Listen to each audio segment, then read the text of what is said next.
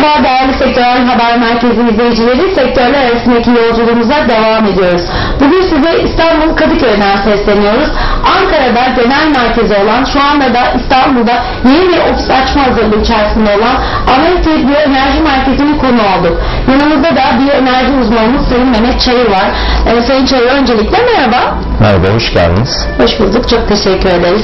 Efendim öncelikle hayırlı uğurlu olsun diyoruz. Teşekkür ederim. İstanbul'a da yeni bir ofis açma hazırlığı içerisindeyken sizleri yakaladık. Sayın Çayır öncelikle biyoenerji nedir?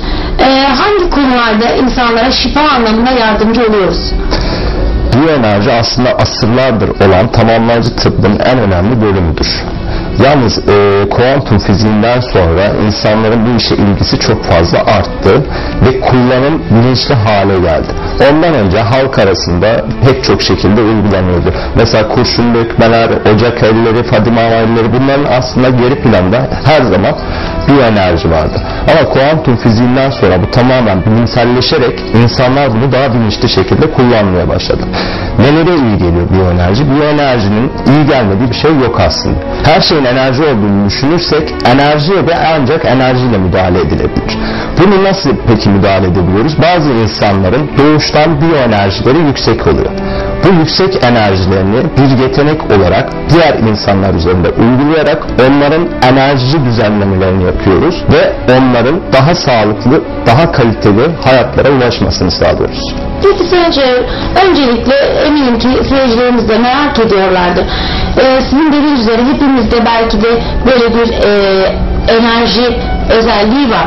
Siz kendinizde böyle bir e, enerji olduğunu hangi olaydan sonra fark ettiniz? Ben küçükken insanlara baktığım zaman renkler görüyordum, noktalar görüyordum ve bunu e, doğal olarak küçüksünüz, bilmiyorsunuz, herkesin gördüğünü sanıyorsunuz. Ama bir süre sonra anladım ki bunun bir ayrıcalık olduğunu. Ama bu ayrıcalığın ne olduğunu çözmek için pek çok uğraşlarda bulundum, gezdim, dolaştım, sordum. O zamanlar enerji bilenler pek yoktu.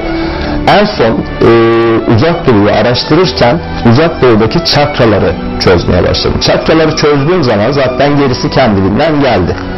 Yani bu doğuştan gelen bir yetenek aslında. Şimdi ilk başta kronik veya psikolojik denilen her hastalığın arkasında geri planda yatan şey aslında enerji dengesizliğidir. Genelde işte kronik hastalıklar, romatizmal hastalıklar, psikolojik hastalıklar, bel fıtıkları, migrenler, ağrılar yani yelpazemiz çok çok geniş. Şöyle söyleyebilirim sivilceden kansere kadar.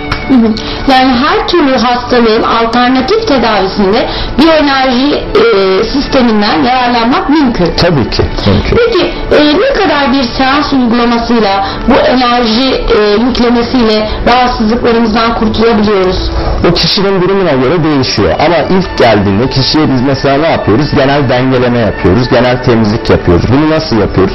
Şimdi nasıl yediğimiz içtiğimizden gıdalar alıyorsak çakralarımız aracılığıyla da evrensel enerjiden besleniyoruz. İşte bunu düşünecek olursak sağlıksız beslenme gibi. Biz bu beslenmeyi normale döndürüyoruz ve sağlıklı bir şekilde beslenmeye çeviriyoruz. Şöyle düşünün bunu sürekli C vitamini alıyorsunuz çok fazla ve vücutta ne yapıyor? Bunun yan etkileri ortaya çıkıyor.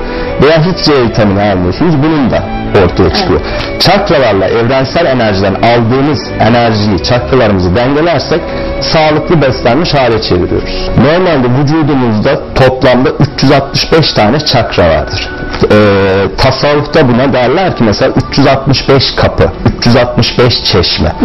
Ama onun haricinde nedir? 7 tane ana temel çakramız vardır. Ve yine tasavvuftaki nefse karşılık gelir bunlar. Yalnız burada şunu eklemek istiyorum. Her insanda bir şifacılık yeteneği vardır aslında. Yani nedir ki insan kendi kendinin baş ağrısını geçirebilir veya bir karşıdakinin baş ağrısını geçirebilir. Bunu da nasıl yapıyor? Biz insanlara inisiye veriyoruz. Yani bunun da halk arasındaki tam karşılığı uyumlama, el verme. Uygulamayı yapıyoruz. Yani Evet. daha doğrusu kendimizde var olan ama bilmediğimiz bu enerjiyi ortaya çıkarıp Ortaya bunu kullanabilme özelliğini öğretiyoruz. Tabii ki. Ya bunlara şöyle örnek vereyim. Mesela siz doğuştan resim yeteneğine sahipsiniz ama hiçbir zaman sizin elinize kağıt kalem verilmemiş. Sizin elinizde kağıt kalem verildiği zaman çok çok güzel resim çizersiniz. Çünkü doğuştan da bir yeteneğiniz var. Doğuştan gelen şifacılık budur işte. Daha üst seviyede şifa verilebilir.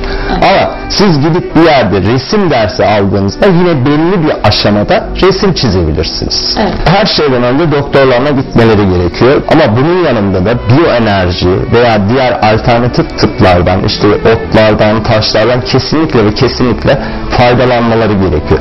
Yani cep telefonu kullanan bir kişinin yanında kuars taşı taşıması bile o cep telefonundaki radyasyonu taşın kendi üzerine çekip kişinin daha az zarar görmesini sağlıyor.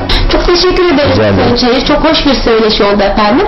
Efendim başarılarınızın devamını diliyoruz. İnşallah İstanbul'da en yakın zamanda hizmet vermeye başlamanız dileğiyle diyoruz. Teşekkür ediyoruz. Biz teşekkür ederiz efendim. Evet değerli sektörel haber merkezi izleyicileri size bugün İstanbul Kadıköy'den seslendik. Amerika Biyoenerji Merkezi'nin konuyduk efendim. Başka bir programda, başka bir sektörde buluşmak dileğiyle esen kalıyoruz.